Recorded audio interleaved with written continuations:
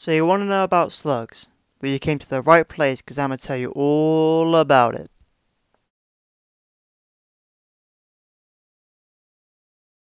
Slugs is an American Spanish horror movie directed by Juan Simón, released in 1988, and is based on the novel of the same name written by Shaun Hutson.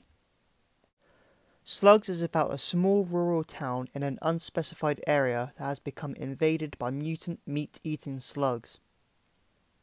The residents in this town start dying in grotesque and mysterious ways, with nothing but a bloodied skeletal remains being left behind. The authorities are unable to determine the cause of these strange deaths, so it's up to our main protagonist, Mike Brady, a health inspector played by Michael Garfield, to find the cause and come up with a solution. It isn't made clear as to how the killer slugs began to arise in the first place. The movie attempts to explain it by stating that the town the movie is based in used to be a dumping ground for toxic waste in the 50s, but it doesn't explain how or why the slugs even became exposed to the toxic waste, and why they're only just suddenly attacking people 30 years later. You can tell the writers didn't put much thought into this. Maybe it's explained in the book. Who knows? Slugs are also hermaphrodites, which means they're able to fertilize their own eggs. This explains why there's so many of them and how they multiply so fast. The slugs manage to make their way into people's homes through the sewers where they come up through the toilets and the taps, even making their way into people's groceries.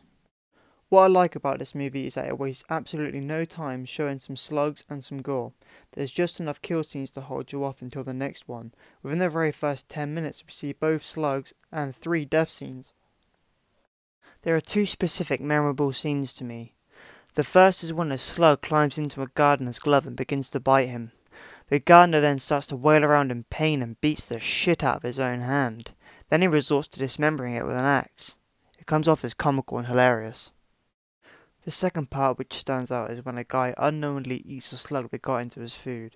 He then complains throughout the movie of having stomach cramps and he eventually gets so bad that worms come bursting out of his head. This is the closest the movie gets to any kind of build up with some kind of payoff. On the other hand, what the movie doesn't do so well is sadly the acting itself. It's extremely cheesy and just overall bad.